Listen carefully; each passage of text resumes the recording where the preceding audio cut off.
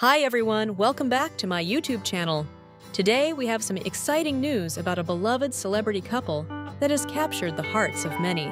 Actress Ruffa Gutierrez has officially confirmed her relationship with actor and politician Herbert Bautista. Let's dive into the details of their heartwarming love story. Ruffa Gutierrez recently opened up about her relationship with Herbert Bautista in an interview with Karen Davila. She expressed that their relationship has always been serious and emphasized the importance of keeping their personal lives private for more happiness. According to Ruffa, she never enters a relationship that isn't serious, highlighting her commitment to Bautista. One of the sweetest moments Ruffa shared was about their first date.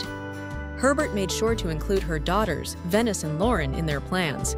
He picked them up from home and wanted to meet her daughters to ensure everyone felt comfortable this considerate gesture happened during Christmas time, making it even more special.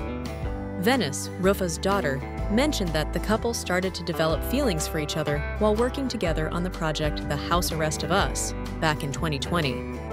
Both of Ruffa's daughters have given their full support and approval of their mother's relationship. Venice described Herbert as a lovely and nice guy who suits her mother perfectly, expressing her happiness for both of them Lorin added that Herbert has had a positive influence on her mother, especially during the pandemic. He encouraged Ruffa to go back to school, a step that Lorin sees as a sign of the strong connection between them.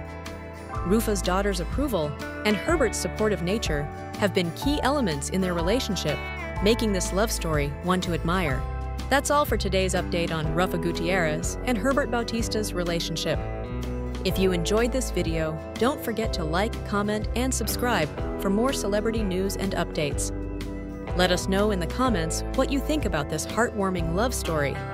Until next time, stay tuned and take care.